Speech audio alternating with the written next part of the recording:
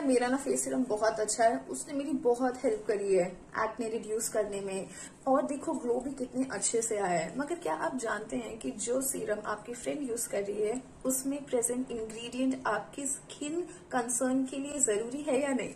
तो चलिए बात करते हैं कुछ बहुत commonly use skin serum ingredients की, जो एक्चुअली हमारी स्किन को बहुत अच्छे से रिपेयर करता है एंड हमारे जो स्पेसिफिक स्किन कंसर्न है, उसको कम करता है।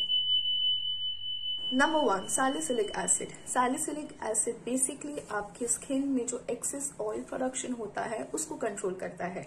तो यदि आपकी स्किन बहुत ज़्यादा ऑयली है एंड आप इससे परेशान है then you should go for the salicylic acid serum number two niacinamide नाया सिनेमाइड बेसिकली आपके जो स्किन में डैमेज हुआ है, उसको रिपेयर करता है। So if you are facing so much of skin damage concern then you can go for the niacinamide serum number three retinol retinol basically आपकी स्किन में जो डार्क स्पॉट्स है, उसको रिड्यूस करने में हेल्प करता है।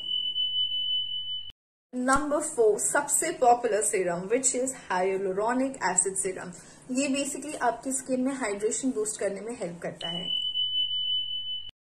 Next is kojic acid kojic acid basically हमारे स्किन में जो मेलेनिन प्रोडक्शन हो रहा है, उसको रिड्यूस करने में हेल्प करता है।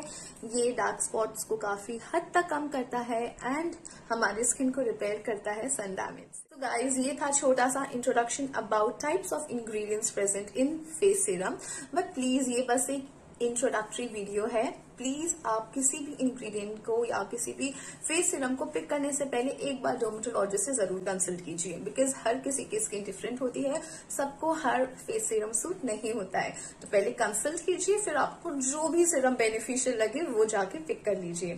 Thank you so much for watching this video I hope you going to like it share with your family